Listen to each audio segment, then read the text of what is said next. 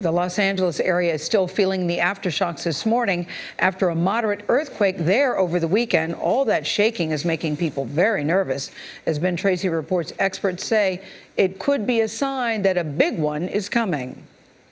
The first quake hit just after 9 p.m. on Friday night, a 5.1 magnitude shaker that knocked items off store shelves, pictures off of walls, and ruptured water mains. A car was overturned during a rock slide caused by the 10 seconds of shaking.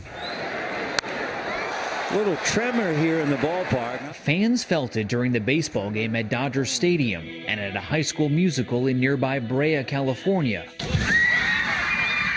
The aftershocks continued as Dr. Lucy Jones from the United States Geological Survey was briefing reporters. And now we're having an aftershock. Okay. So More than 100 aftershocks followed, including a 4.1 that rattled more nerves.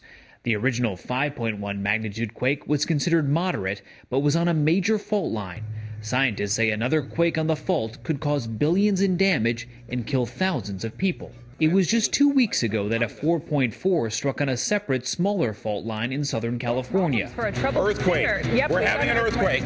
California has been in what scientists have called a quiet period of seismic activity for more than a decade. Jones says that may now be ending. We've had a few fives like down on the San Jacinto Fault. But for the LA metropolitan area, this is the first five since Chino Hills. That earthquake was nearly six years ago. For CBS This Morning, Ben Tracy, Los Angeles.